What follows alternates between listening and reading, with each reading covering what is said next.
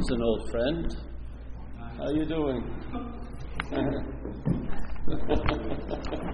nice to see you, man.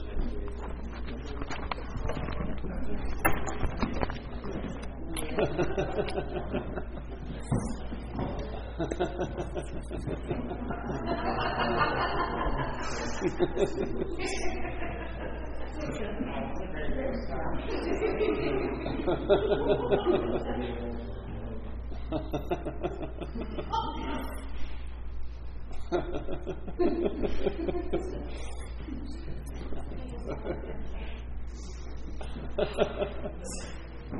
going to pull myself together in a second.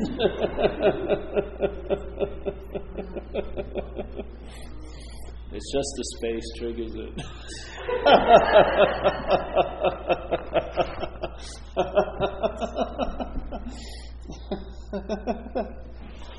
All right, let's see. let's get serious. People are here for something. That was your first mistake. yeah. So I wanted to sort of talk about something someone presented earlier. And this is just my humble opinion. It's not it's not carved in any stone. But when I started coming to these type of talks, uh, let's say there's an approach where they talk about what we are quite a lot. Yeah? That you're the ever present moment, that inherently there's nothing that's needed to be done or acquired or achieved or attained. Everything is perfect just as it is, which is a very nice sounding thing, but the importance is how it's being heard. Yeah? So what happens is the sense, the feeling of being a person will be the mit that goes up that goes up first, that catches that message. So you'll get a, you'll get the message that there is no person, but you'll hold it as a person. This is sort of the dilemma. The mental state will reinvigorate itself and catch this new novel idea that there's no Paul, but you'll catch it as the Paul. See? So it's not the message, it's what's hearing the message is the important thing. So the way I see it, I, we always direct it to uh, what's hearing the message, not the message. Yeah?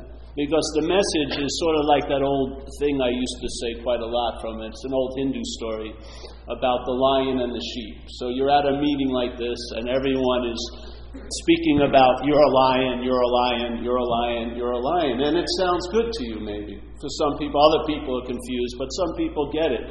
They, oh, yeah, yeah, I'm a lion, I'm a lion. So here's the message You're a lion, you're a lion, you're a lion. Here it comes. And you're in, to- you're in agreement with it. And then it hits the ears, which are formatted in a certain way, and it gets translated into I can become like a lion. That's not the message. The message isn't that you're going to become like a lion. The message is you're a lion. And of course, we're not talking about the four legged animal, you know. It's, a, it's an example, it represents something. So you're a lion, you're a lion, you're a lion. Yeah, yeah, I like that idea. especially if there's a feeling of being a sheep. You know, sheep's getting its ass kicked a lot, getting made, used for a sweater every year. You know, it's so it gets this feeling that man, I'd really like to be a lion, but I'm going to be a lion as a sheep, yeah? Because the sheep identity won't be noticed. So, what greets all the good news that you ever hear is the bad news, in a sense, yeah? Because it's now you that gets this, which is a very subtle idea that there is no person, but now the person will try to be a non person. Yeah? So I'm like a self trying to be a non self. And you see how weird it can get, you know what I mean? because it's just another conceptual idea. Yes? It's been made into something.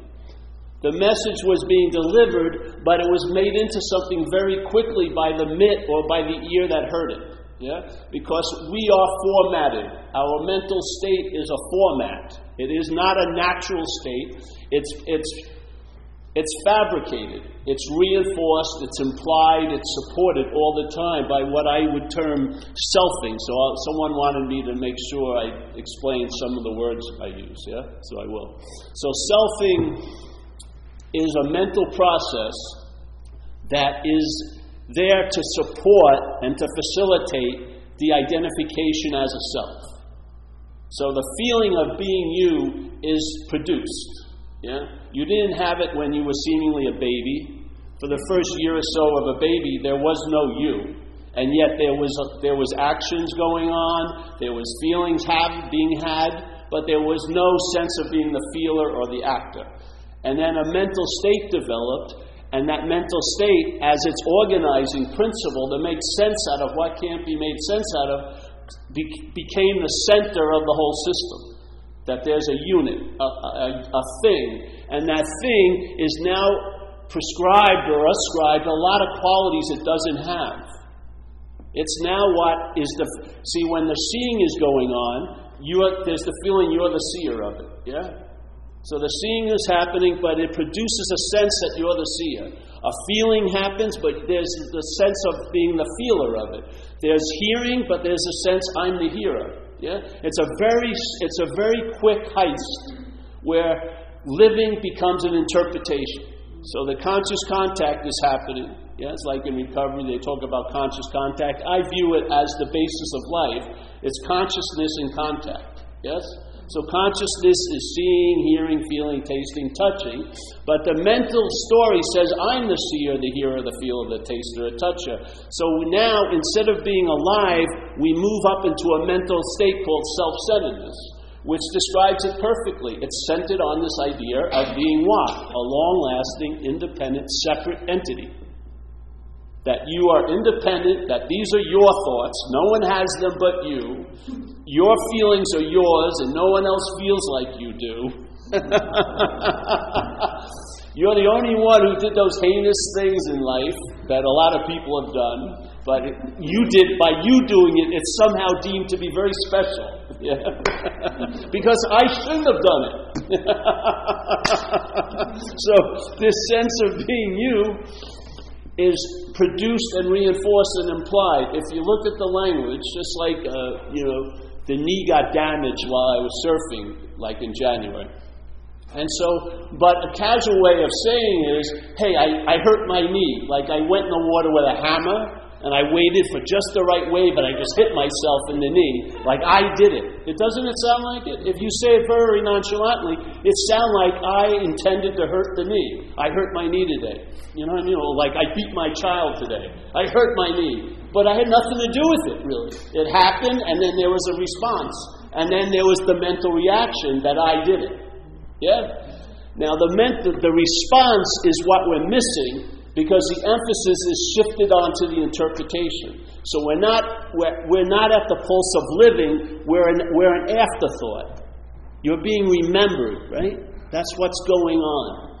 So, this idea of selfing, just like the language, the language like I remember I went back east a couple years ago and I hadn't been there a while. My hair had grown.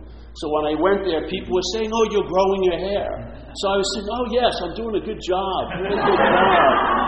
And, you know, I wanted to do better, so I joined a group of like minded people, and we got together and grew hair together, and it, went, it grew faster. You know what I mean? So I keep going, you know, and I got to leave this meeting early because I got to grow my hair. I forgot to grow it earlier today. You know? So it's really funny because it sounds like I have something to do with something I don't have anything to do with. I'm not growing my hair. I just, if I don't cut it, it grows. Yeah? But the language implies I have something to do with something I have nothing to do with quite a lot. We're using to know life from a, a system of thought and interpretation that implies that we're the subject, that we're the doer, that we're the haver. It's self centered.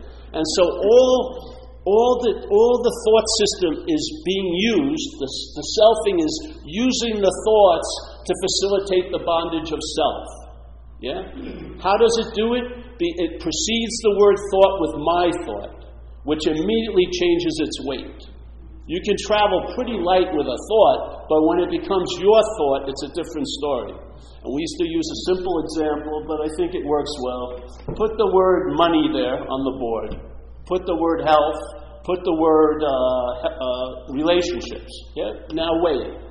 Based on where you think you are, it'll have a certain weight. If you don't have any money, then there'll be a, more weight on the money. Yeah?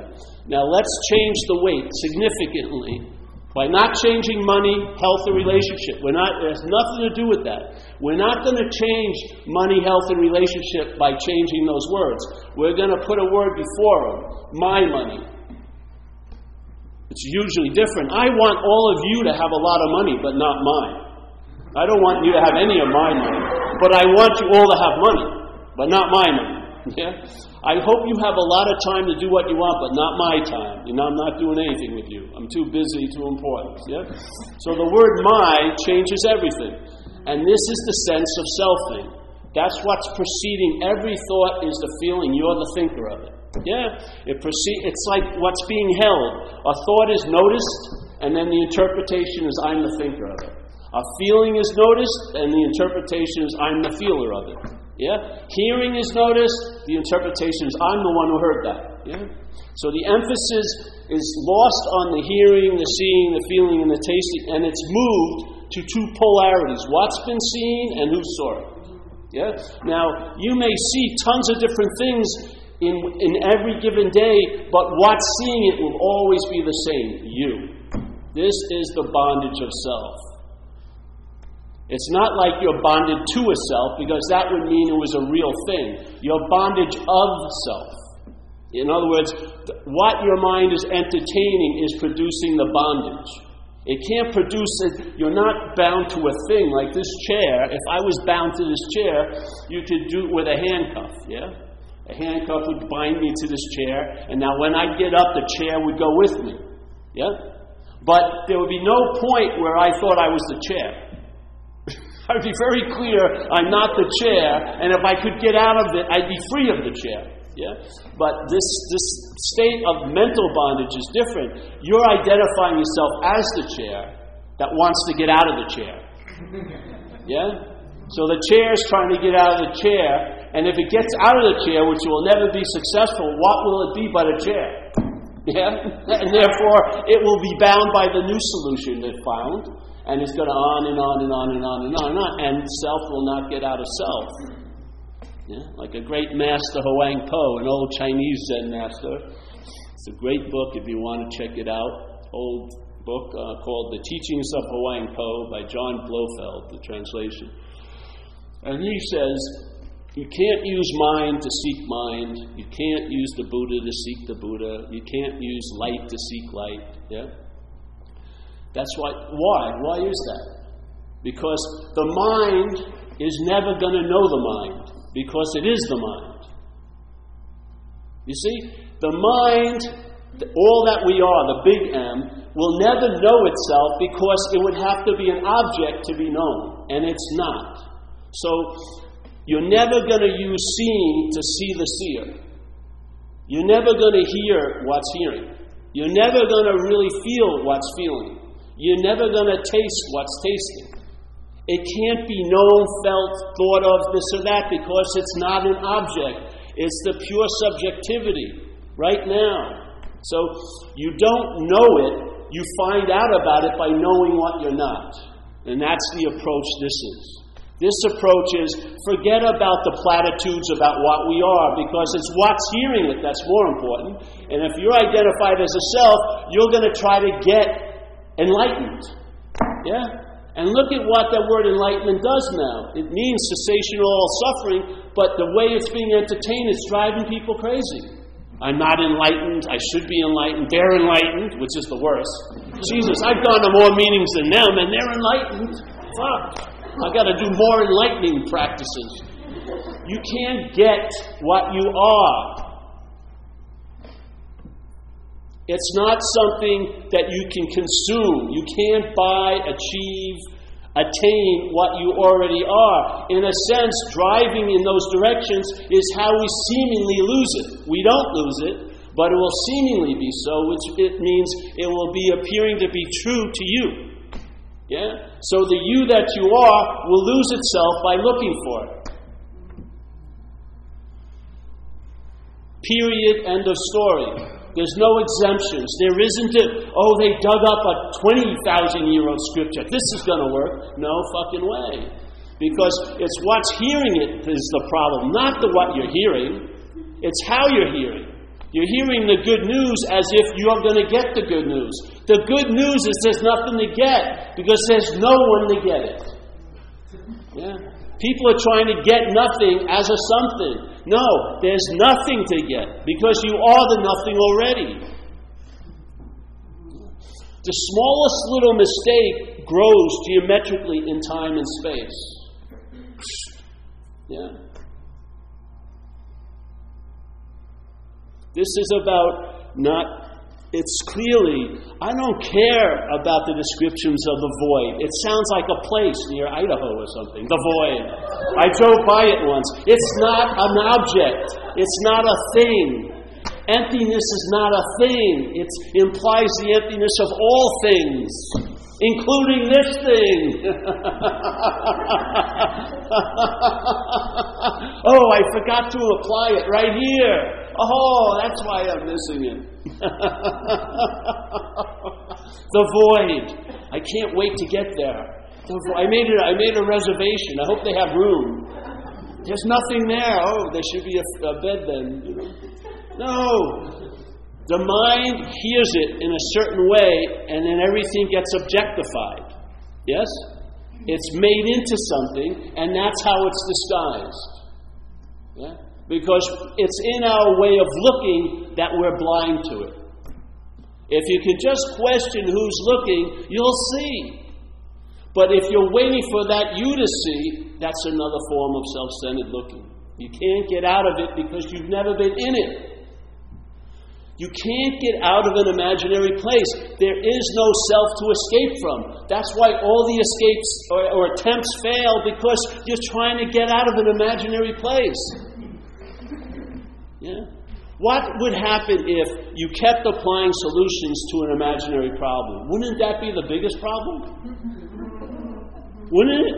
It would be so disguised because everyone, your friends and spiritual advisors, will be calling, yes, that's a solution. Keep applying it. Why isn't it working? Because you can't, you can't solve an imaginary problem. You recognize it. And then that's that. Yeah? When the problem seems real, there's a need of a solution. If the solution dawns on you, one of the first things that's revealed is there is no problem. And immediately, there is no point for a solution. That's the solution. You don't have to have a special little pocket for that special solution. There's no need of a solution. That's the solution.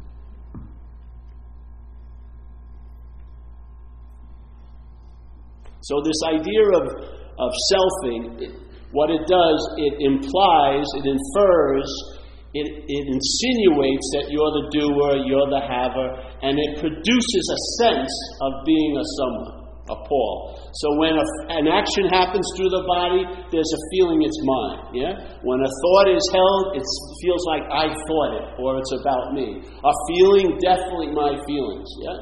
And people have a very difficult time recognizing an action without the idea that there must be an actor. Who says that? An actor. Actions go on all freaking day that, had, that no one's ever been home. It's not like you finally vanquish the self. There's no self to vanquish. There's just a recognition, like this great Zen master Dogen said to study Buddhism is to study the self. Yeah? To study the self is to forget the self. Why? Because when you study the self, you'll entertain it's not you, and once it's realized it's not you, you lose interest in the making of the self. Your interest and attention gets free from that bondage and now enriches your day. Instead of enslaving you in this day by yesterday and tomorrow, constantly being concerned about what's not happening, you're freed from that and you're actually right here where you've never not been. So, this whole idea of working hard to get into a moment is seen as totally ludicrous because you cannot be out of a moment. There's not one moment you've ever been out of. But this whole idea of trying to get into the moment is how we act as if we're out of the moment. And how many have read the whole book? You know, how to really get in the moment. Immediately you want to get to edition three, how to really, really get in the moment. We want the advanced, the advanced getting. I feel like I deserve a much higher level of being in the moment. Yeah, and of course somebody will come here. These are all the hierarchical levels of being in the moment. And I think you're down here, which means you've got to buy a lot of subscriptions to my book and my newsletter, and then go on the retreat. But then I'm up here. I'm on a very high level of being in the moment. Give me a freaking break. There's no being. You can't be out of it. What happens when you entertain that? It's done. The solution always has one quality that will last will produce a lasting impression in time, and that's timelessness. You'll have a sense this was not produced, it was never achieved, it was never made because it's never been unmade. Yeah? It's been always available at all times, but I've been looking through it in time and its timelessness. The dawn is an instant recognition of this is so, was so, will be so, forever so. Yeah?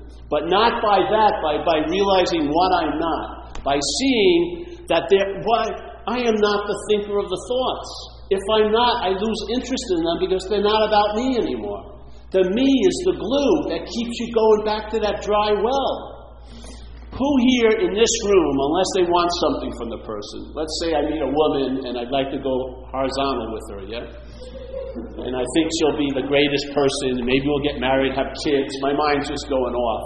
And so I go out with her and then she talks for four hours about a cat and I'm feigning great interest. I'm a, I'm a cat lover myself, you know. And oh yes, tell me about Biff too, you know. And I'm on this, and she says, oh, I really think this guy's a nice guy. He's special. Let's go home. We go home. We go horizontal. Next week we go out. She starts talking about cats. Bye. See you later. I got what I wanted, which was not a cat. You know. you know that that that selfish interest would cause me to listen. Yeah. But if someone comes over and I'm complaining about what's not happening to them, they can't feel it, they can't see it, they're not tasting it. It doesn't exist, which is the clarity that they're exhibiting. Yeah? And they're bored stiff by me talking, oh, I'm, I'm so worried about that I will have cancer. And you keep saying, but you don't. You're missing that big point. You don't. But I'm going to. I really feel it. Give me a break. I'll do laundry, anything else in that. But the same, the same stuff going on, if it tells us about me, I'm totally interested in it. So it's not the movie you're falling for, it's the audience. You're buying it because you think you're the star of it. In Buddhism, they call it the cherishing of self. Yeah? There's a cherishing, a love for this little action figure of Paul. And we're just hoping beyond hope that one day, it's insane, really. Look at basically what we're confronted with every day. You got a circumstantial and situational level. Yeah, you got to have money, this or that, that and that. You're concerned in trying to manage that. Yeah. Then there's the physical level. You're concerned in trying to manage that, and you feel, and you're hoping if I could just get it just right, everything would be great. Yeah? And then there's the emotional level, which you're attempting to try, and there's the mental level, which you attempt, and then the mental level has its own idea of the spiritual level, which is not spiritual, it's mental. And then you have that. And here you are sitting as the boss of all this, and you're going to try to get them all aligned, and if I got it all perfect, everything would be great. But what really flips you out is you can have you have if every day was a second, we'd be doing great. You know, oh there goes Wednesday, Thursday. Oh fuck it, I'm doing fantastic. Bring them on Friday, Saturday, Sunday. One second, but not you feel great at nine o'clock and nine oh one comes up, nine oh two comes up, and these conditions change. You know, you're trying to keep these blocks all aligned, but they're on shaky ground. Yeah? And you're just all day managing in a fear of it not working because it hasn't worked. You know, it's not an unfounded fear. You are living based on a failed system, and it's going to fail. So there you are. If I could just hold it. So nine o'clock, people call me up. Oh, I had an awakening. Nine oh five, they're in a deep depression. You know what happened? They want to align something. They want something that cannot be stable to be stable. And they assumed if everything was lined up, I would be great. It's the biggest illusion of all. Because this place is not reliable. Yeah? But what's seeing it is totally reliable because it has never come, it has never gone. It is truly like an open sky on a nice day with no clouds. Anything that appears in the sky doesn't affect the sky itself. This is what we are like. We are like Big M mind we are like that sky. Clouds come and go, Fourth of July explosions. You could have a Fourth of July explosion every day and it wouldn't rip the sky open. Yeah? Planes are flying through it all day, and they never run into a chunk of sky. Yeah? Birds are shitting and they're never landing on the sky, on your cars. It rains, it just wettens the earth, not the sky. The sky allows everything to appear and move in it and have a sense of reality, yet it's not affected by any of it. That's what we're like. We are like that mind. We are like a huge camera, a huge camera with a huge aperture. A lot, a lot of possibilities, yeah? Huge, huge, huge. And we come upon a little small camera with a very small locked aperture, and we bend down and we start looking through the small camera, and we become identified with the small camera. So now this huge aperture is being shrunk down, not by itself, but by what it's looking through. And now it's defined, its universe, its possibility, its spectrum of joy and all this is now severely limited, and the aperture of self centeredness is locked. Yeah? So now here's this huge camera living really small looking through the small camera. And all that's needed, not to start talking about how great the big camera is, because the small camera is going to be claiming to be the one hearing it. It's to see you're not the small camera, and then suddenly, no time at all, you're seeing again. Big time. Yeah? It hits you like that, hopefully like a Zen bitch slap, and bammo, and you wake up to being awake, basically. You wake up to being awake. You do not wake up because you've never been asleep. You've been acting like you're asleep. You've been seemingly asleep. Yeah. But in fact,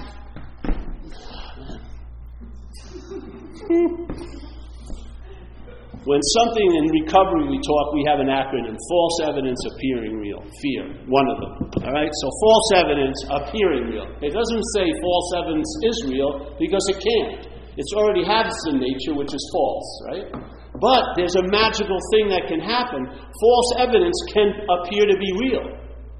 But it needs a someone to appear to be real too. It can't so you know you know what I mean? The false evidence needs to, uh, someone to appear to be real too. So if something really feels real and it isn't, where is it getting that sense of reality? It can't be getting it from other false evidence. It must be getting it from reality. Voila! We are the reality lending ourselves to things through an identification as a thing. And then those things are biting us in the ass, which we now have because we're a thing.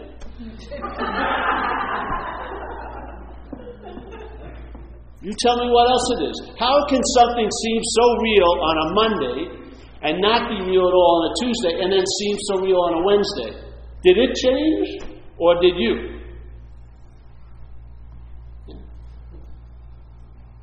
This Monday, I'm feeling pretty good. It's not a problem. Tuesday, I'm feeling bad. It's a huge problem. Wednesday, I'm feeling good. It's a problem. Get it, you know? Your role here, like in the Course, it says, lesson two, you and I are, give everything all the meaning it has.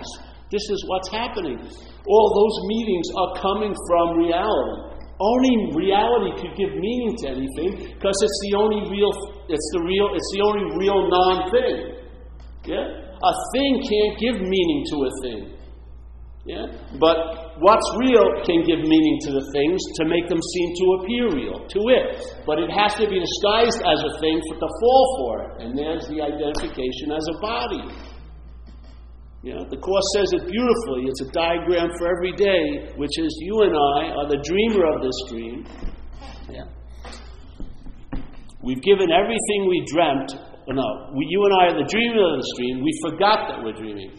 Now that's what interested me when I heard that. I said, well, how am I forgetting? Yeah, I don't, I don't like blanket statements. I want to know how am I forgetting? All right. Well, how am I forgetting? Well, I'm forgetting by remembering self. Yeah? So when I'm remembering self, I forget that I'm the dreamer. And in that condition, I give everything I'm dreaming the power to affect me as the dreamt object. It describes every freaking day of every person on this planet, basically. You and I are the dreamer of the dream. If you're giving meaning to things and they're not things in themselves, then I would say that's a pretty dis- good description of a dream, yes? So you and I are the dreamer of the dream. We forget that we're dreaming. The forgetfulness didn't happen one day in Idaho or Omaha, Nebraska, and then you've been tattooed with forgetfulness. It's a mental activity that goes on and on all day, listening to the thought system, that produces the forgetting by the remembering of self. Yeah. So, by remembering self, you're in a seeming state of forgetfulness, and in that state, the reality you are is given to things, and then that reality you gave to things bites you in your real ass. And then you bitch about it as a victim. Oh, if I could only change this and this and this and this. You didn't see where the reality issued forth from. Not there, but here. You can't understand it because you think you're already something. I'm Paul, this historical action figure. I was born here, I did this, I did that, I can't share what I did here, and this and that. All that is the seeming identification that never can be so, but it can appear to be so to you.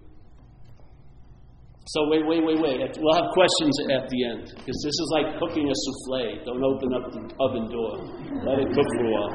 So, here.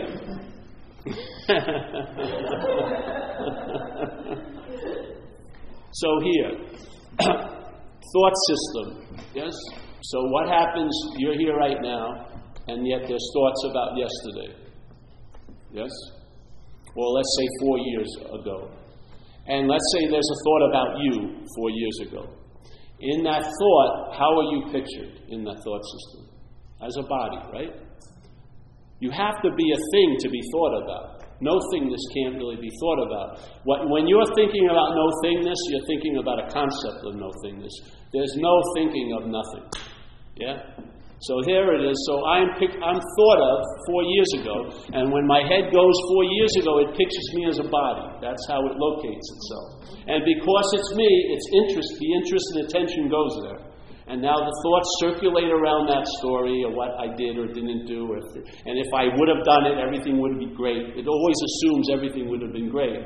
If you had, if you had some, if you had done something you didn't do, and vice versa, you know, because it makes the suffering exquisite. You know what I mean? It does, doesn't it? Really. You know, the, the idea that things could be different make it terribly hard to, to accept what's going on. And it's a crazy idea because there's no truth to it. Yeah? So there you go. So now what's happening? You're remembering self. Yes? The memory, you're remembering self. Where does the feeling of being the self happen? Now. Yeah? You're thinking about you four years ago, but the feeling is happening, is being produced now. That's the remembrance of self. All right? And now there's future, which is a huge open field. And the mind goes thinking about what could possibly happen to me, which is almost anything you can imagine. Because there's no, there's no re- real boundaries because it's not so. Yeah? That's why I always think it's so funny because there is something that's happening. Yeah? So there's what's not happening. Anything can happen, what's not happening. But there is something that's happening that has one quality what's not happening doesn't have, which is it's happening. Yeah? Which is right now. You may like it or not like it, but this is what you got. Yeah, right? it's, there's a lot of peace available if you just can entertain it. But so here you are, you're thinking about you, pictured as a body, five years from now. Yeah? And you're concerned, I'm going to be destitute, you know, I'm going to be that, and this and that. And then the feeling and the contraction happens now. So, this is the remembrance of self, and in this activity, we're forgetting what we are, seemingly. You can't forget what you are because you're it. But as this, you can seemingly forget your real nature. Yeah? That's what's going on. So we're remembering self all day. What's, ha- what, what's the glue of it all is that it's about you. And that's what happened with me in recovery when I heard this message. and I was leading these workshops in, in recovery on the fourth step. And there was this one sentence, I'm going to throw this out for the people who are in recovery here. There's this one sentence that says, being convinced, which means to believe with certainty, that's the word, that self, the small s. I'm not talking about a big S, I don't believe in that anyway, but uh, the small s. So being convinced that self manifested in various ways, yeah, is what has defeated us.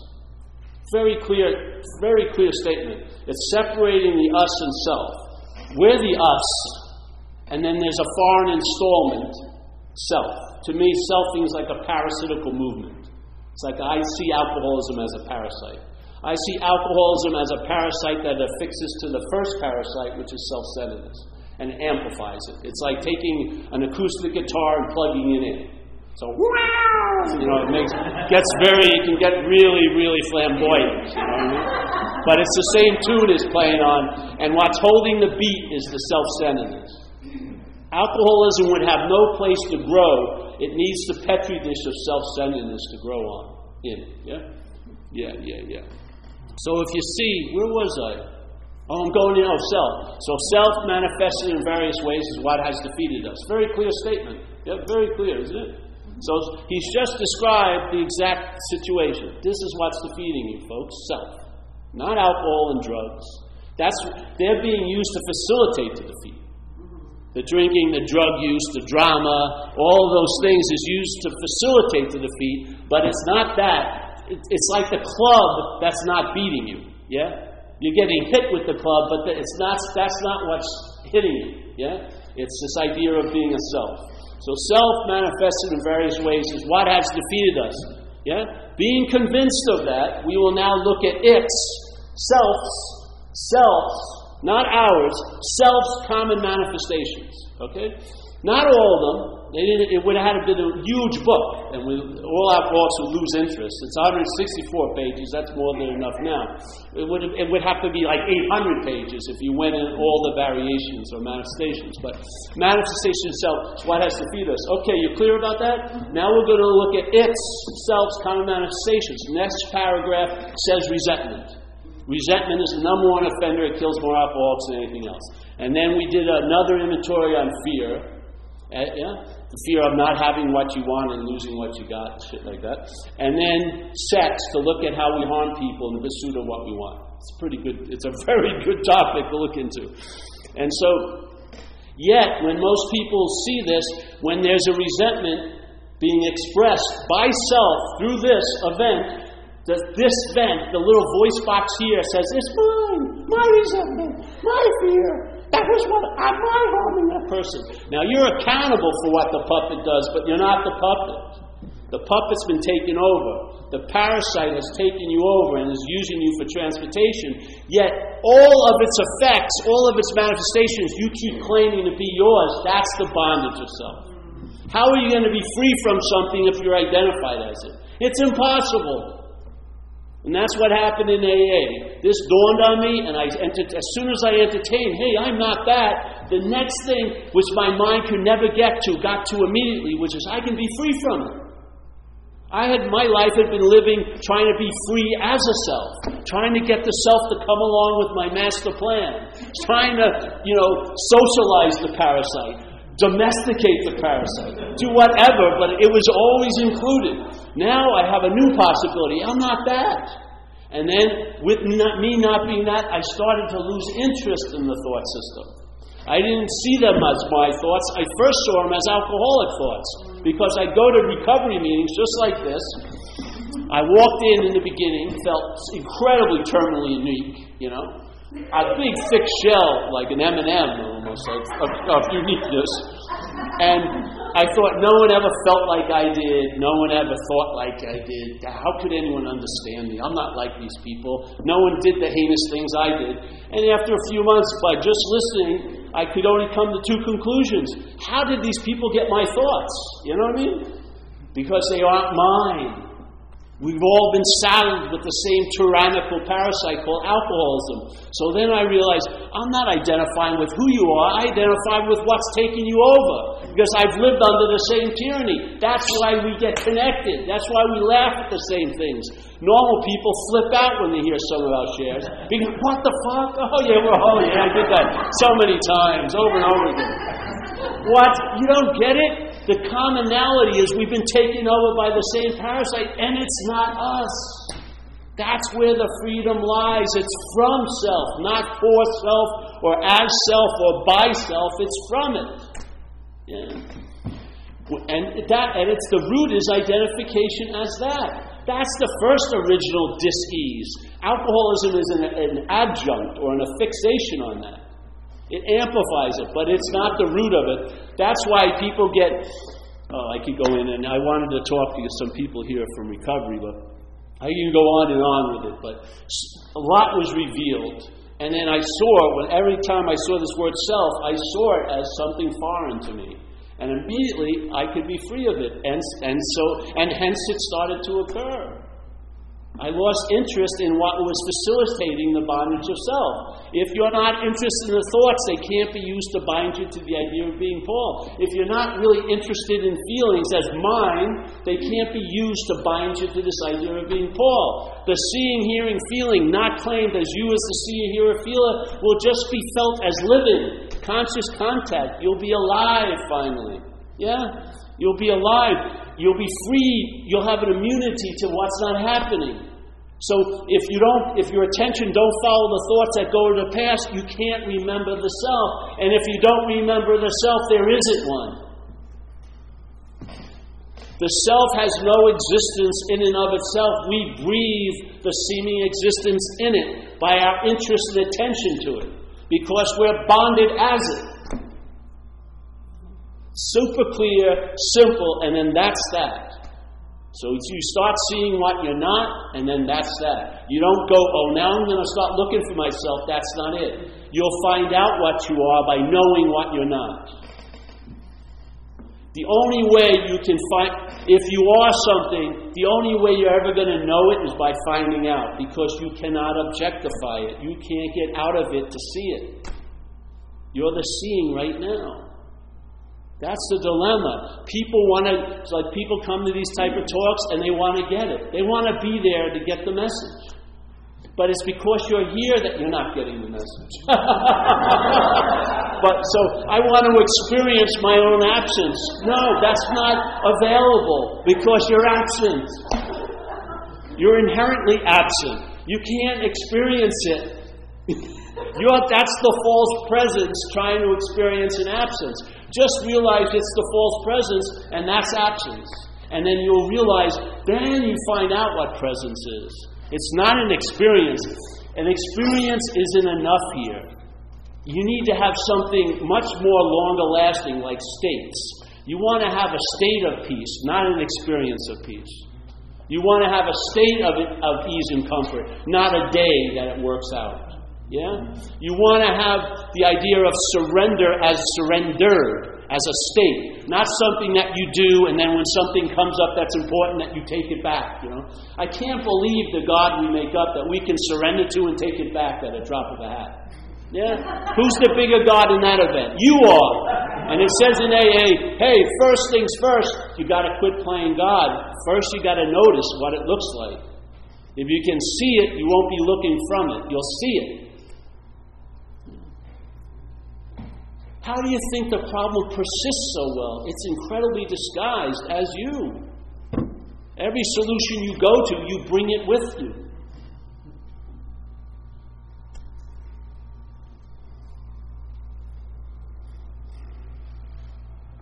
This is a humble invitation. We don't draft anyone here. Uh, we're not going to give you, you know, all right, the next thing you do is here's your homework. Nothing. You know, how many talks should you I go you go to? This one. Yeah. That's it. Entertain, entertain, entertain. Maybe entertain as the hearer, and then you'll get it, and you'll still entertain. And now the mind, instead of entertaining all these insane ideas, can you imagine? Look at how much you produce of anxiety thinking about what's not happening. It's pretty powerful because you have nothing to work with. You can't see next week, feel it, taste it, but you make a lot out of it by thinking, don't you? Could you imagine if you gave that reality to reality, what would happen? Find out. Give the reality that you are over to the reality that you are. Instead of giving the reality that you are over to this idea of being a someone and letting that someone be the distribution point and giving tons of meanings to tons of things all day. Like having a huge amount of infinite cash and you can't wait to spend it all day frivolously. Oh, let me think all day about what's going to happen. Everyone here who's having a problem, it's not based on tonight.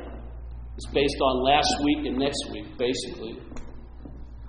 See it. See what you're pledging allegiance to. See the head. If you're aligned with the head, the head values yesterday and tomorrow more than now. It's using now to think about yesterday and tomorrow.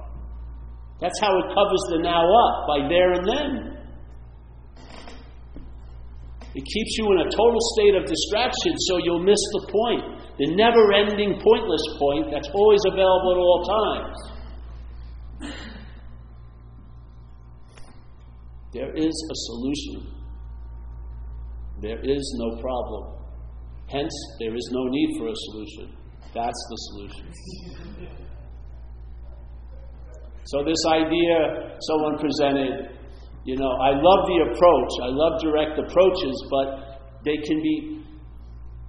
I found when I kept hearing these descriptions of what I was, I was claiming it as what I wasn't.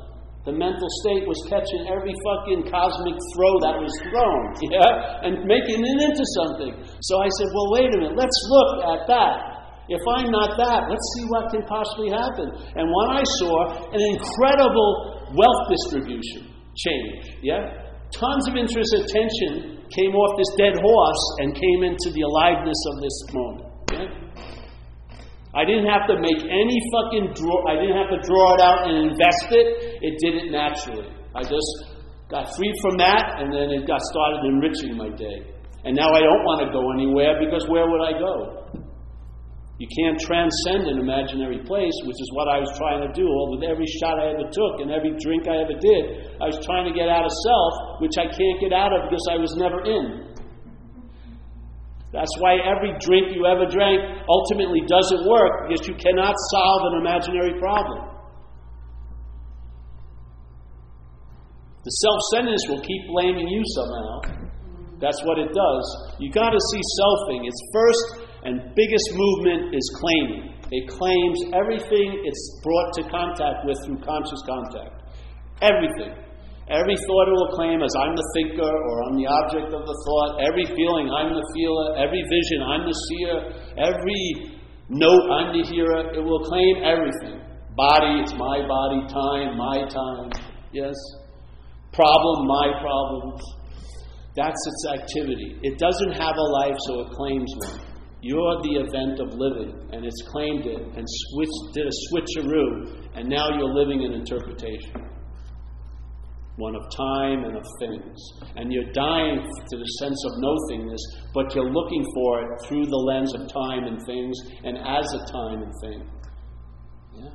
Question what you are. When you realize you're not that, then the sense of timelessness will dawn on you quite easily.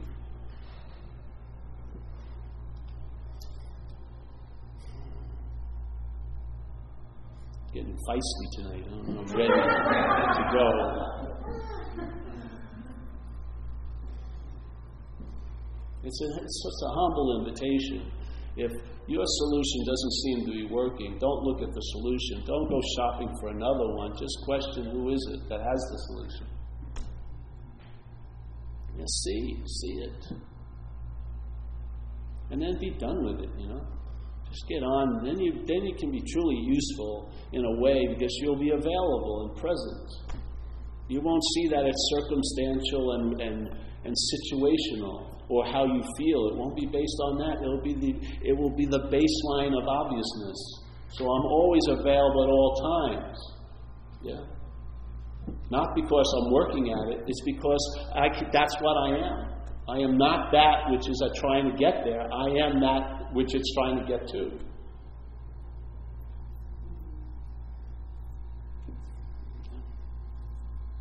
Any questions tonight? I know some people are dying. I don't like questions usually, so I'm just throw it out there.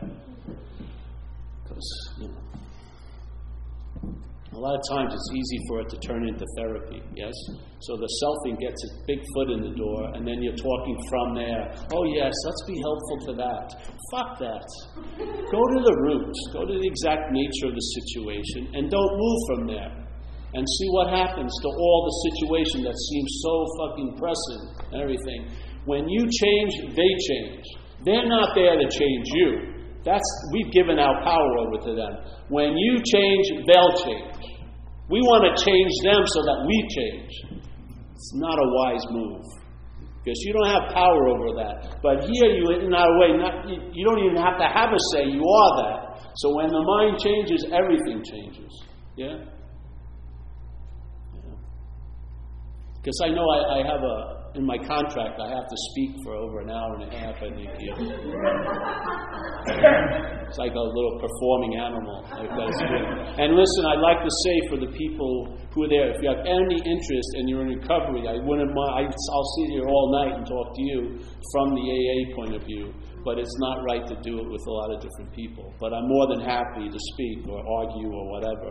I'm not into arguing because I believe for me to be right, you don't have to be wrong, and for you to be right, I don't have to be wrong. But I do want to say that it says, you know, people will come after us and add on to the program, and let's open up to some possibilities, yeah? I would say. Yes? Can you talk about the difference between I and me? Yes.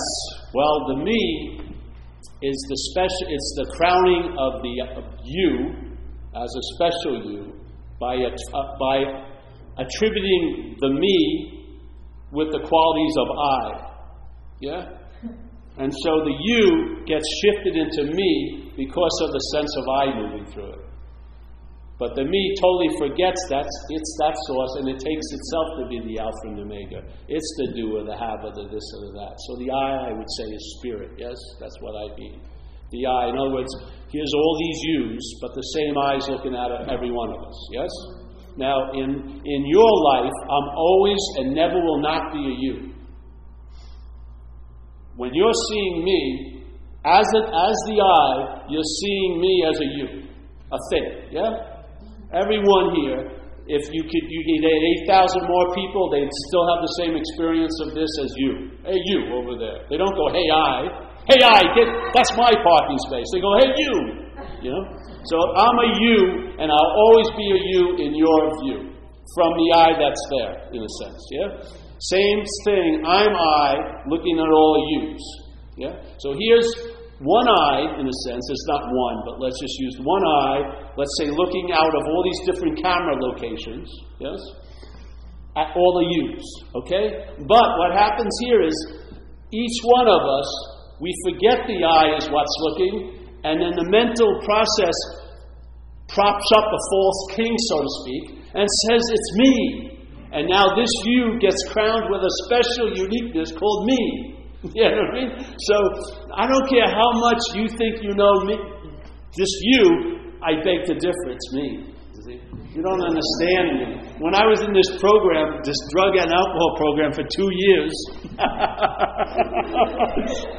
two years, my, my managing life led me to the point where I had to be managed by other people. That's how it went. You know, I'm not managerial quality. You know?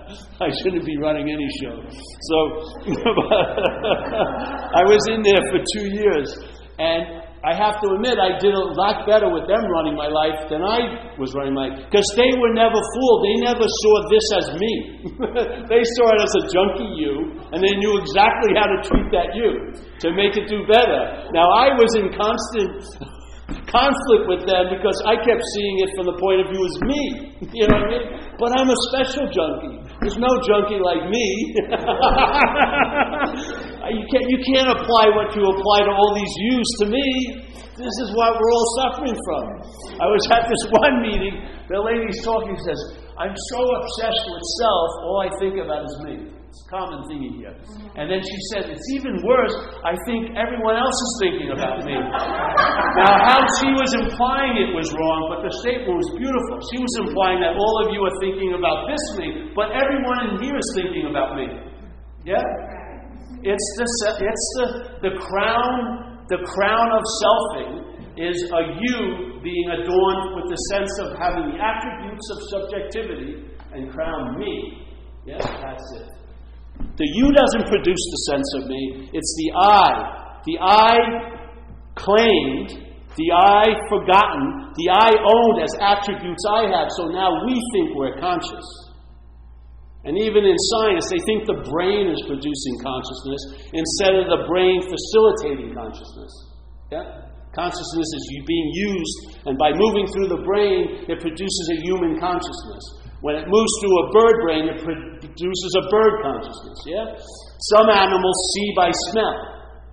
See? The seeing is just awareness, but it will def- be defined by the gate it moves through. So some animals see, just like we do with eyes, but with smell. Yeah? So it's not the nose that's smelling, it's not the ear that's hearing, it's consciousness facilitating that, yeah? So there's the consciousness moving through the you. The mental process says, hey, that's me. Yeah? I'm the seer. You know what? It's, it's this funny. Let's say, I always use this. Let's say I, uh, I ate a burrito, and I'm in, this, I'm in the, the false assumption that I'm the digester of my food. So I'm here, and I forgot I ate the burrito, and I also forgot the pizza I had last night. And it dawns on me, and I go, "Wait, I got to leave early. I got to go home and digest my food." You know, I'm, I'm backed up, and we're to get the we're to get the results if I don't get home. You know what I mean? Through another orifice, you know.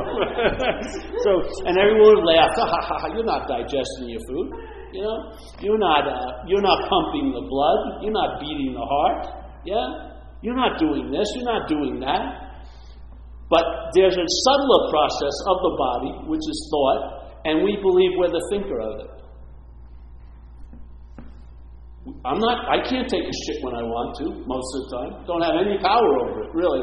But suddenly, I, I claim to be the thinker, and therefore the thoughts now have a special allegiance. I'm allied to the thoughts as mine. Yeah? And I say these are bad ones, and these are, you never sit over the toilet and that's a bad shit. You know, look at that's not that I don't want to tell anyone about that one. That's not good. You're not looking at the body product. You think, but the mental product you think is yours. I'm having terrible, dirty thoughts, and therefore, if I have enough dirty thoughts, that implies I'm a dirty person. You see how it facilitates the bondage of self all day. All day it's going on and on and on, assuming, inferring, pointing, and we're just lazily under its sway. And then, then we're bitching about it. It's like unbelievable. It's like that old story with the beggar in the, at the gate of the, of, the, of the city. And he's been there for 20 years begging, and all these people give him money or don't give him. And one wise sage comes by and says, Look in your pocket, and then walks away. And the guy's too proud to do it, but when he gets back to his little hovel, he looks, and there's a huge diamond in there that's always been there. He just never looked. He was rich all along. But was he accessing the richness? You are inherently awake, but are you experiencing or are you traveling in that awakeness? That's the change. That's the dilemma. It's not like you're not awake, we all are. But is it actualizing in your life? Is it having an influence here? Is it, is it giving you immunity to what's not happening? Because it's so obviously so glorious what's happening.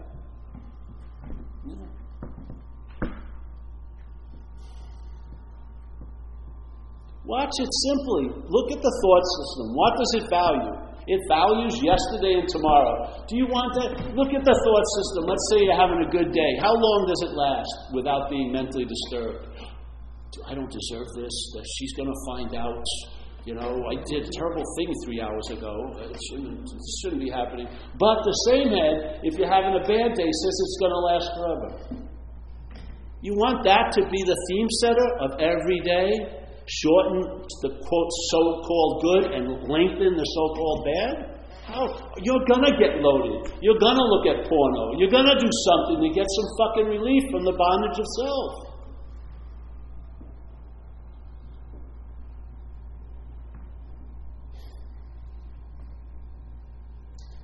Yes. You want to get rid of the bondage itself. No, you don't. You Oh. don't want to get rid of the bondage. That would be bondage yourself. You just want to see what does it. Okay. Yeah. If it's there's going to be a huge sense of something when you see what you were calling you is manufactured. It'll have a huge it'll have a huge disruption quality in what you call your life, your linear story of an action figure. When you see that it's structured, manufactured, reinforced, constantly referred to and implied, you realize anything that's getting that much advertising mustn't be there. Yeah? What's here doesn't have to advertise at all. Let's like look at Budweiser beer in America. The shittiest beer, terrible beer, has never knocked it. They spend tons of advertising, but it's the same shitty product. Yeah? Something that's really good never has to advertise because it's really good. Well, what we are doesn't need to advertise. What we're not is constantly advertising that we are that.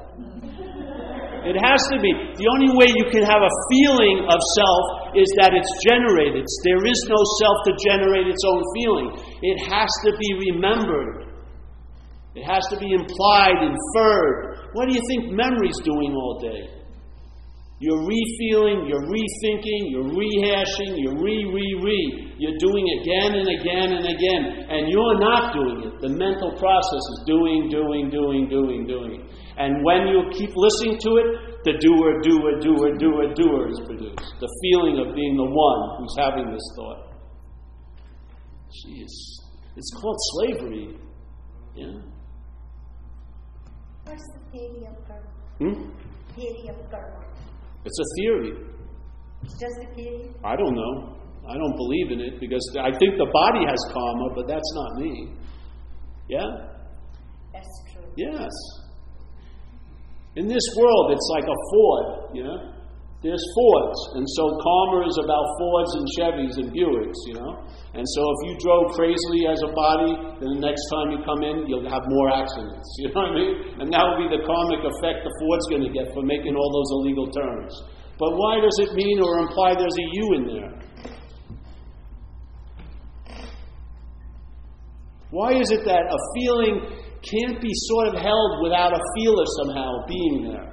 Or like, if you didn't do the action, I didn't do the action, then some bigger being, God did the action. Why is our logic so starved to have a doer, a thinker, a hearer, and a feeler? Because its whole basis is based on that. The false sense of doership is where all guilt and shame rests. You don't let yourself off the hook because you really believe you did what you did when you were under the influence of alcohol. Yet in our step one, it says you were powerless over it. You were powerless over drugs and alcohol. So you're dancing with the gorilla, you're going to stop when it wants to stop. Yet we still have tons of guilt and shame about that behavior because we still believe we were the doer. Even though we think we get this, this sense of powerlessness, we don't get it. Because if you really got sense of houses, you'd be accountable, but you would not be responsible and you would not have guilt or shame. What I came to the realization of, I would have done what I did to you to anyone unless you physically could stop me. That was it. I was taken over by a parasite. It was using me for transportation. Yes? There's a TED talk came out. I'm going to give a plug to it. I'm really into this parasitical idea because I see alcoholism as a parasitical movement. Yeah? One parasite took all these different hosts. That's why we share common traits because they're not ours. They're just parasite traits. Yeah? Okay. So there's another one. Now they discovered that it's much more extensive in nature. There's now, now they discovered there's this thing they call toxo, and it's in it. It I think it gives birth or something. It can only it can only like uh, reproduce in a cat. In a, I mean in a cat. Yeah, it's the only place. It has to be in the cat belly to reproduce. No other animal will do. But it finds itself in other animals. So it's in other mammals, and it's in rice and mice. Rats and mice, yeah? And so when a rat and a mice that's been taken over by this parasite sees a cat, they run towards the cat. it overrides the basic instinct of the mice trying to escape from the cat. It overrides that like that and causes the rat and the mice to run to the cat so that the cat will eat it and the parasite gets to its destination because it can't drive. The parasite can't walk. It's, it's limited by being where it is in the, in the body of the mouse, but how it overrides that, it jacks into the little mouse brain and says, You're gonna run at the next you're gonna run to the next cat you see, and pronto, baby. And so they do. And they keep talking about things as parasites, but they miss the next level. There are non things as parasites. There are mental winds, which alcoholism is. You cannot take an x ray of alcoholism, you're not going to see it. Yeah? But you'll see its effects on the organs and on things, but it won't, you can't see it as a thing. It isn't. But it's a parasitical movement. Yeah? And it takes you over, and it uses you to do what it wants to do through the alcohol and drugs. It doesn't even need that. Yeah? Will do it when you, you're stone cold sober, you'll still be crazy. Yeah? So the parasite moves you to go what it wants to go, to get what it wants to get, and all the while with self centeredness, you're claiming every one of those movements as yours. Oh, I'm, why am I going to this bar again? You have no fucking control. Yes? You need a power greater than it. That's your only chance. That's what it says in recovery. The dilemma is powerlessness. Why is it a dilemma? It's only a dilemma when you're exerting power you don't have. Because what's going to bite you in the ass when you're trying to manage and control is powerlessness. You don't have the juice. Yeah? You're the mental assumption is you have the juice, therefore it seems logical to try to control and manage things. But you experience powerlessness because things don't go your way. People that you want to like you don't. Yeah? You're constantly running into the, the, the frustration of, and discouragement that nothing's working out the way I want. Yet the stubbornness of that persistence is very huge, and you'll keep thinking you have power. And they say in recovery, the dilemma is powerlessness. You have to find a power greater than self.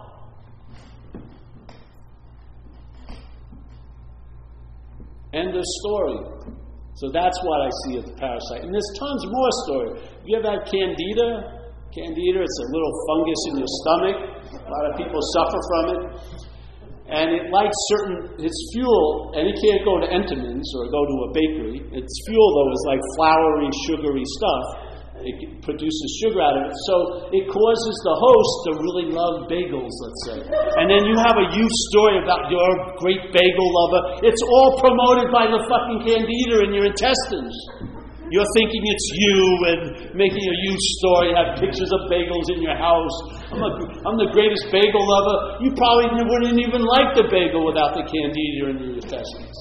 But all the while, the self centeredness is unbelievable constantly claiming and reasserting. You know what I mean? So here we are, suffering the effects of this parasite, and we're claiming all their effects, they're mine. Oh, that's my self pity. That's fine. You, how are you ever going to get out of what you can't be in?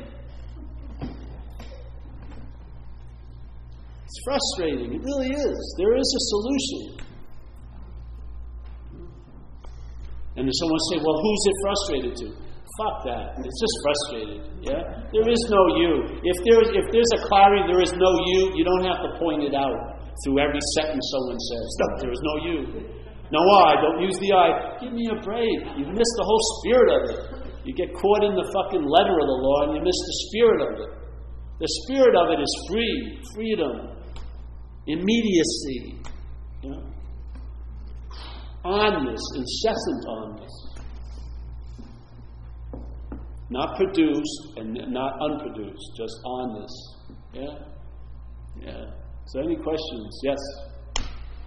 So, your experience, when you know you made that transition to you know, seeing selfing and uh, you know, experiencing that state, the, the selfing doesn't go away. No. It does. The interpretation is still presented, but the audience is left. You know what I mean? So the talk is going on, but no one's there. Your interest and attention has been freed by a simple, simple recognition. I'm not that which I was so interested in. That's all. Just like, you know, I always use this example. There's a girl that's at a meeting in the other room, and I'm really interested in her. Once again, I think she's going to conceive my children, we're never going to get divorced, and, and all this. And, you know, so because that's what makes it so, oh, yes, she's, the, she's it. i got to get that. So I'm at a talk, and I'm trying to share, but people see that I'm distracted. So one of them comes up and puts a book on the table, How to Lose Interest in a Conversation in Another Room. I page through it. I agree with the principles, but I can't help myself. My, my mind's very interested in her. Yeah? So suddenly, I finally hear her speak, and I'm waiting like this, and she says, I really like that guy Kevin, and my name's Paul. What happens? I lose interest immediately. And I don't have to take a three month retreat or learn a technique to retrieve my interest. It just goes right where? Where does it go? Right here. Like it, because this is the only place it is. Yeah? Now, so what happened? So that showed me very simply why I'm interested in all this stuff is it's about me. Go to the me that it's about, and if you're not that, your interest and attention will either quickly or slowly move from that dead carcass and come and, be, and enliven your life. I call it a stabilized statement called traveling lighter.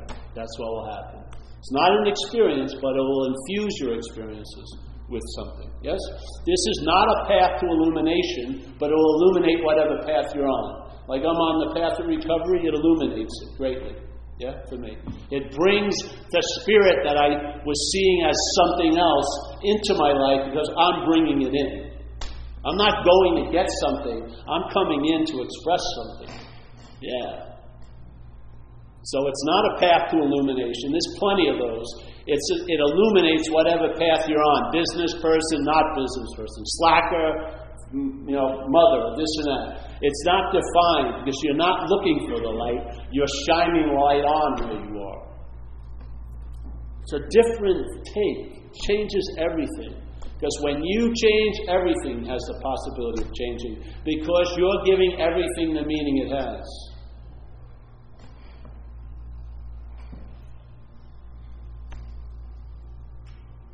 Yes. So uh, you were saying, that, in, a sense, you were saying the solution is look, notice the me, which means all the ways that the we build ourselves? Well, notice the structuring because you can't notice the me. There's yeah, no one there. Yeah. But, but notice the me. Yes. Yeah. yeah. Notice what, what I'm not, and that's the same thing. When you when you recognize what you're not, it's all done. Now you just rest in what you are. What I'm not is me. Yeah. Right. Exactly. So when you're not that, that's that. What's obvious will become obvious. And then if it's obvious, rest. If you seem to forget, come to a talk. Yeah? Because you can't forget, but you may have to go through the pantomime of remembering, you know, of being triggered to remember. And there are a lot of ways to do that. After a while, though, you'll outgrow the ways and it will be self triggering in a way because you won't forget. You'll realize there's no way I can forget what I am. Yeah? I mean, there's no need to remember it either. You are it. Yes? So it becomes truly reliable because you're not involved anymore. and therefore, it's difficult to have a sense of ownership because you don't own it. Yeah. So I come to these talks because I've never shown up, basically. Because if I was going to do a talk and it was based on me, I would have found many reasons not to come. The trip, you know, this and that. But it has nothing to do with me. It never has. Since the day I did my first uh, workshop in recovery, people say in recovery, and I disagree with this, that you have to have it to give it away. I believe if you're willing to give it away, you'll have it. Tell you the truth. So that's what I did. I put myself in to be used, and I've been thoroughly used for a long time. And the hose finds its true meaning by the water that's moving through it. Yes? So I've had downloads, I'm open up to that, and something comes through to get a point across. Just the, I'm just like the medium for it. Yeah? Yeah, yeah. It's not my message. It's nothing. I have nothing to do. with it. I don't sit around thinking about it when I'm at home. You know what I mean? I don't. I have. I don't have a get ready room and a get set room and then a go room. I just walk in here and it goes like this, and I'll walk out of it because nothing's changed. What was there before the talk is here now and will be here later when I leave. I never, you know what I mean? There's very little difference in my days in a lot of ways. The baseline is the same, one note with a lot of riffing on different notes, but the one note is always underneath, underneath it all, like a all, you know, always. Yes. So, what moves isn't you. The mental state moves all day. Yeah, it comes this way, gets through aversion and desire, it moves, interest and lack of interest. But what you are is never moved, never blinked, never looked the other way, never took a break. Yes? Never. It's always available at all times, right where you are, with no requirement necessary to meet it. You, you are the one who holds all the requirements. It's like I have a story to fill up the time. Knocking on heaven's door. Yeah? So here's heaven. I have this urge to go to heaven, you know, and I've done a little meditation. Have patchouli oil, have a nice, you know, some beads. I got my loving gaze down pretty good, you know. And then so I go in thinking I can make it pretty easy. So I open the door. And it, this was always disconcerting. The door opens up immediately. Man, God fucking fast. You know, considering he's everywhere, where can he show up to, you know? So the door opens up and I say, God, can I come in? And he looks right at me and says, Paul can't come in. So it sort of bums me out, so I decide I'm going to practice more. So I leave, I join a monastery, I do this, I do that, meditating 12 hours a day. And I wait until I feel like I'm ready. I should be able to pass, pass knock on the door. And the door opens immediately, you know what I mean? Because there's no time or somewhere in that space. So, so I go, Can I come in? Can, and he says, Paul can't come in. So now I go say, fuck you. And I go out and party and drink and debauchery and everything like that. And I get washed up on the shores near the door and I come to and there's a realization. So I crawl to the door, knock on the door. God opens up and I go, Can I come in? And he says, Paul can't come in. I walk right by. Yeah? He wasn't, he, it wasn't personal. He was just stating a fact. A Paul, a Mary, a Sue can't come in. I could have walked in at any moment, yeah, because I'm not that. But as long as I was identified as that, I excluded myself from fucking heaven. Yeah? As soon as I realized I wasn't that, I walked right in. Exactly. Because I wasn't the, he was saying Paul can't come in. Oh, the only way I could take that to mean me is if I was identified I said, Yes, as soon as I saw that, that's that. Yeah requirements are where you're sitting, not in this, not in every, not in this. He says, no. When has this shunned you? Really? When has this presence, this space ever shunned you? When? When were you exiled? Where would you go and everywhere? Where could, where could you find a special somewhere and everywhere? Where can you be connected or disconnected in everywhere? How can you be close or far in everywhere? How can you have, buy a ticket from a travel agency in everywhere to get everywhere? Yeah? I mean, the absurdity of it should dawn on us, yeah?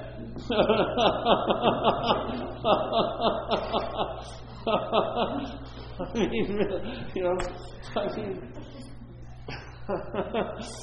or just continue what you're doing. That's fine too. That's what mine wants to do. It's fun. It's fun looking, really.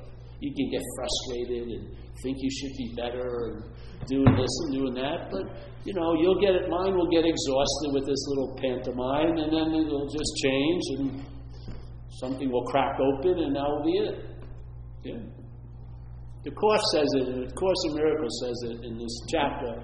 I need do nothing. It's a very cool chapter. So he talks about all these ways, yeah, like contemplation, yoga, meditation. And he says, because it's the mind's intention to be free, it will manifest the freedom through these things. But they're going to take a long time, maybe. Yes? And then he says, if you're reading this book, Maybe the course is for you, and if it is, it's basically here to save you time. Because everything is going to lead to the same realization I need do nothing. Yeah? So, what, I'm saying is, all your somethings have totaled up to be nothing already. Why not start at nothing? Yeah? Start at nothing and stay there, and then watch your head try to make it something all day. And when it exhausts, there it is, nothing. And nothing's the gift that keeps on giving. Everything comes from nothing. Everything doesn't have a land to stay, a leg to stand on unless it's standing on nothing. Nothing is the reality. We're seeing the wrong picture. The negative is where the picture comes from. The picture does not produce the negative. The positive can't go back to the negative, but the negative can be seen as the positive. Yes? Nothing is the mother and father of everything. All of these things are, are born in, in the womb of nothing. Yeah? Yes. We've got it. Because we're a thing, we've relegated thingness to a very lofty position, and to do that, we de emphasize no thingness. We don't recognize or sense the space of this room, which you and I have a sixth sense. You can sense space. You can sense this space in here. You can almost like see it. Yeah? You can start feeling the presence of rooms and places and spaces. Because what was unimportant will become important to you. When you're weaned off of the thingness, no thingness will become important to you. You'll be keen on it.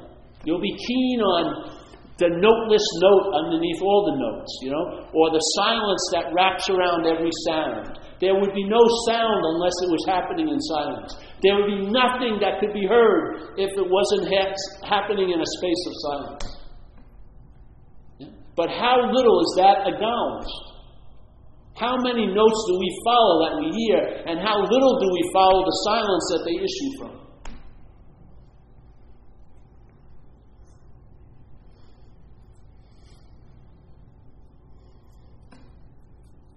Um, Mm. Yeah? um, what about like in the trial, you know, Kafka? Yeah. Everybody's like persuading him what he is. Yeah. Sort of thing. So I feel a lot of the times it's like not uh, everyone's trying to tell you who you are and what you are. It seems very uh, like coming from every direction. Yes. And how, how does that sort of like you may feel like you're separate from it, and and, and but everyone keeps persistent. Well, first of all, there isn't in anyone, but it is an, it's an unspoken agreement that's being voiced and inferred all the time. Yes, in this seeming population of people, we all want to stay people. we don't want any person to be an unperson. okay, it's oh, you can have a wonderful experience, but you're not that. No, no way.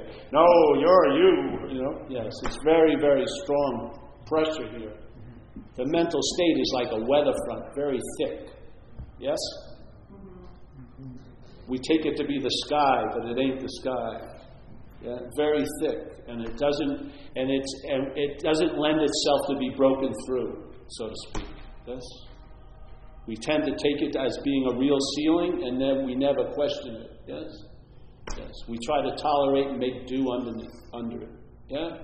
Go against a lot of innate drives and things get totally so much mental mutation occurs so many beautiful children seem to appear as really twisted characters over a few years you know it's just an amazing event here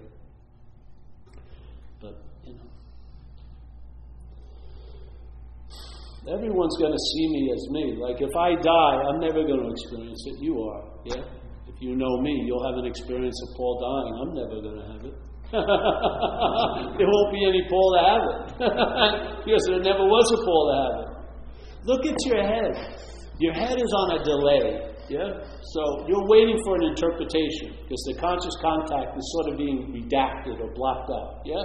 So you're not aware of the livingness of seeing, hearing, feeling, but you are aware of the story of her, hearer and heard, seer and seen. Yes? So you're on a time delay. Okay, so you're about a half a second off. So the moment we're thinking we're in is not the moment. Yes? It's a mental moment uh, that's bookended by yesterday and tomorrow, you know, or last second and the next second. Yeah? But we're on a time delay. Any, any movement in time is a delay from timelessness. Yeah? So here we are. So let's, I always think of this because let's say you've been practicing your whole life to really be present. Like you want to be there at, the, at your time of death, yeah?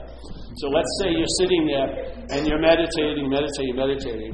And then uh, I always think of this, another aside. Someone's in a hospital bed. They've been listening to their thoughts their whole life. And the mind has a real sick little little vindictiveness. The last thought that you have is, I really blew it. can, you, can you imagine all these years of living? The last, it finally gets anointed with, you really blew it. Boom. so here you are, you're trying to be present to be at that, witnessing that last moment. Yeah? But you're on a time delay as the interpretation. So suddenly the body dies, and you're waiting for the voice box, which is of the body, to proclaim, hey, you just died, Paul, but you're never going to hear it again. so you missed the bus, basically. You were planning how to, I'm going to be on the bus that day, I've got the ticket, I'm going to be there when that door opens. Oops, I missed it. Because you're not going to be there. You've never been here. What you are has never not been here. What you aren't will never be here. You'll never be able to align yourself with exactly what's going on because you're an afterthought. You have to be remembered. You know how much shit can happen between that little gap of what's actually happening and what we think is happening? Look. Look at what the mind has gotten up to. Fucking incredible. Can you imagine if you give it a whole life? Oh, yeah, so. well, you know, we're having other meetings if you want to go through a couple more rounds. Let's go. Because I like exploring, though. I do. Because it's thrilling in a way. Just to have a possibility that's, that's possible, you know? Not another, like, you know, path or a journey or practice, but something prior to the practice. In my experience, the freedom is prior to the bondage, not after the bondage. Yeah? You have to see the inherent freedom to look through the bondage. If the bondage is taken to be real, then the freedom that will ensue won't be. So it's seeing that there was no one ever to be bound is the freedom from bondage. It's prior to it, not after it. Yeah? So, do we know where the address is, where we're being tomorrow? 1045 Dupont Street, which is a Dupont on Dovercourt. And uh, hope to see you all there. What time is it going to be? Uh, same time, 7 to 9 tomorrow, and uh, Saturday and Sunday there's two meetings starting at 11. Yes, and so what happens is tomorrow night we have one question. Saturday, because there's two sessions, two questions, and then two questions Sunday. So there's five more questions to be had.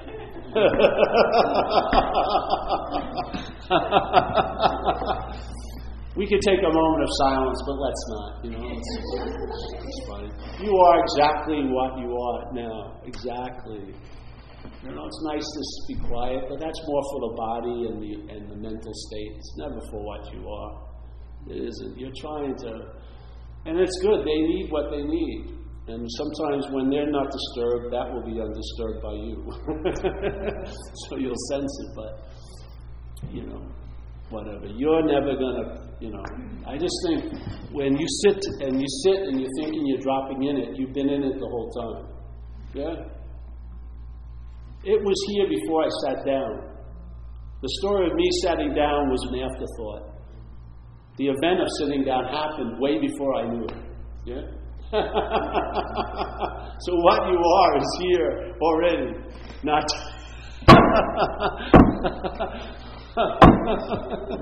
not to be discovered, discovered here, but it's discovering here. You're the discoverer of here, not, you know what I mean? Yeah, yeah. All right, well, that's it then. Any well, what, what? Could I just say something about the weekend? If anybody wants to come for the Saturday and Sunday um, talks, um, Denise uh, would really appreciate it if it were a potluck lunch, so that just bring a little something so that it's not all on her to. And you can, don't have to come the whole time. Right. You can come for one of the talks or whatever. And If it's any problem with money, just don't, just talk to the person, all right? Then I'll demand more from you. And the kid said if you came in late, I'd take the money, so if you could. Yeah, but if you want, just come, you know, no problem. I'd remember. Thanks, Paul. Thank you, thank you. Thanks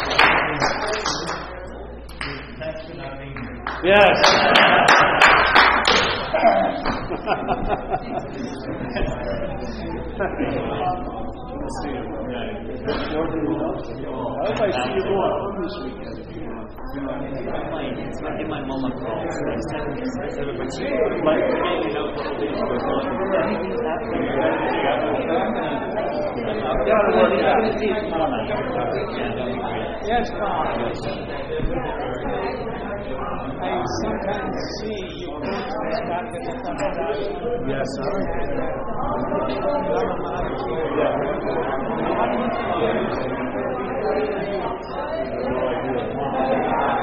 They were I always wondered, Ramana Maharshi is one of my heroes because I wanted, I would love to live in a diaper. I used to stare at you, you are right. I know. I have, I need to wear around a little, and I've also liked the and arts. No,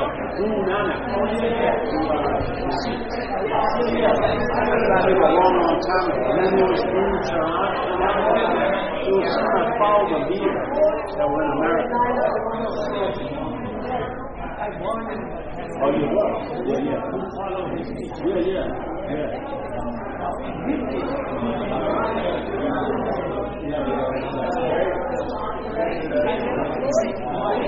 Great. Well, I actually have a big meeting, but I just need to reach you. We'll have to come tomorrow. Saturday or Sunday.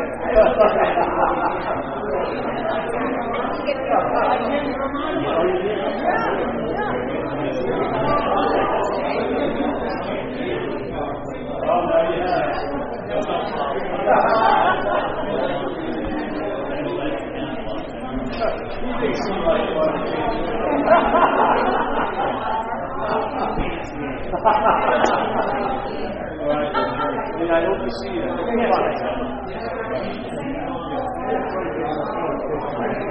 you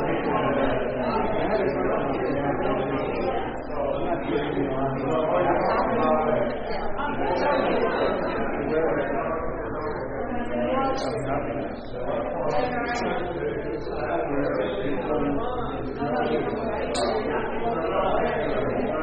Well, they, mental state.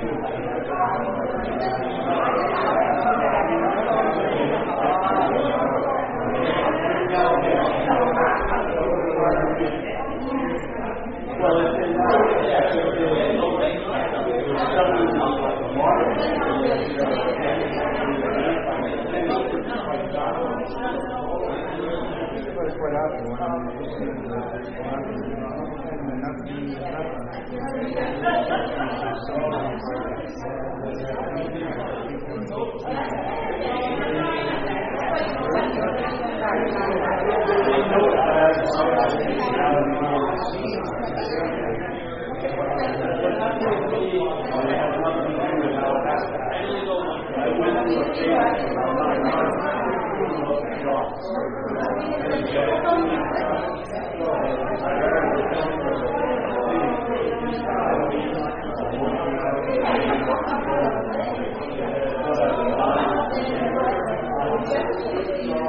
running out of my room, put it in the an envelope, and a bill statement, I could put it on my nightstand, and I knew my name. And that's it. I'm talking about how we are, doesn't mean to change, that's it. But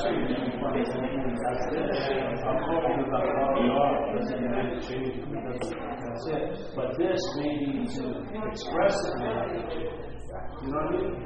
Like running, it's like, let's say you push the one ten wide, and then you got, you got two twenty. You gotta make sure you change the pole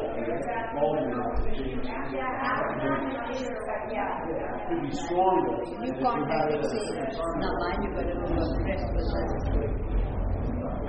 so, so that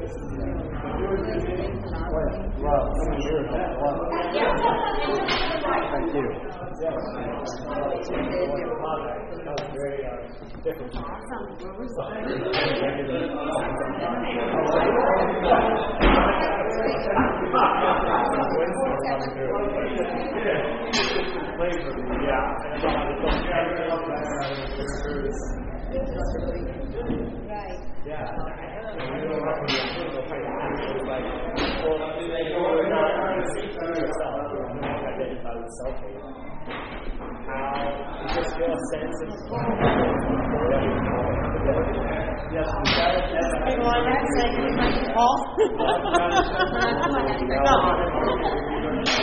Are you coming?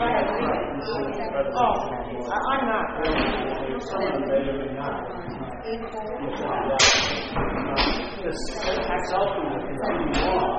It's just that the, the audience are excluded, so.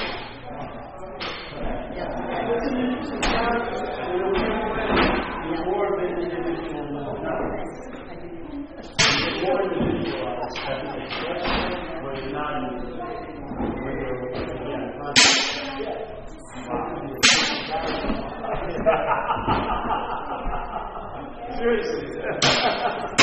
I don't see you, come to this house, it'll take an hour. Yeah. One question. Yeah. I don't mind. But can I sit down? Yes. Mine is always make